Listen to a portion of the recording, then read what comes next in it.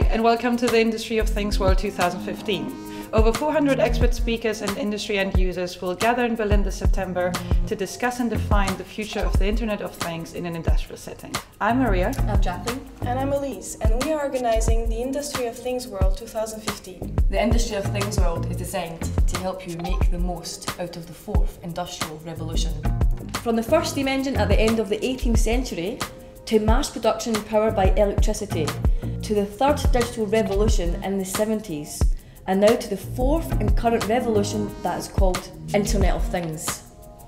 We are taking it one step further and bringing together all the stakeholders to define the future and opportunities of the industrial IoT. At Industry of Things World, expert speakers and end users discuss case studies, business models, actions, profitability levels, and identify the business chances of the future. We are bringing together a cross industry community to look at specific market verticals and look at the new enabling technology out there. The event is designed to help you assess your business strategy, the technical, clients, and governmental challenges, and how to grow and expand. Four core themes create the backbone of this year's agenda. Business models. What is the impact of IoT on your current business model and how do you stay ahead of the curve?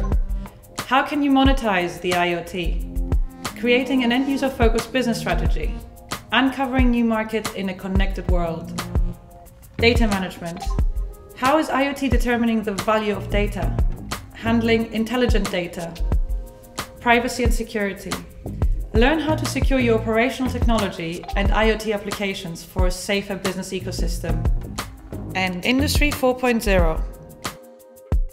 Over 400 end users, OEMs, Industry experts, academics, startups, and 80 speakers were made in a highly interactive environment over two days. Be smart and join Industry of Things World this September in Berlin.